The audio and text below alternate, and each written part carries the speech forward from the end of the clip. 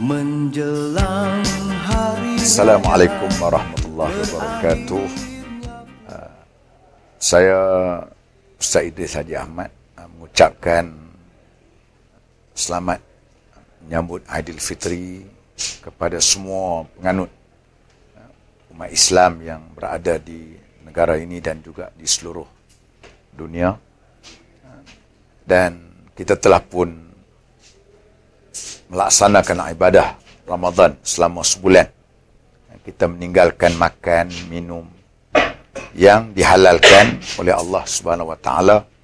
Tetapi di siang harinya kita telah pun meninggalkan ataupun kita mengharamkan diri kita daripada makan makanan yang Allah Subhanahu Wa Taala benarkan.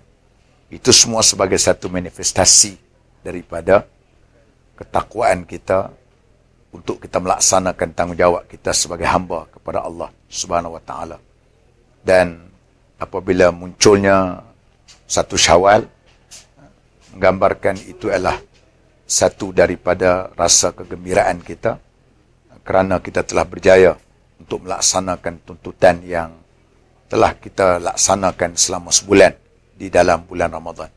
Dan saya mengharapkan segala kesalahan yang saya lakukan kepada tuan-tuan dan puan-puan sama ada sengaja atau tidak sengaja eh, hanyalah Allah Subhanahu Wa Taala yang akan memberikan pengampunan kepada kita bersama.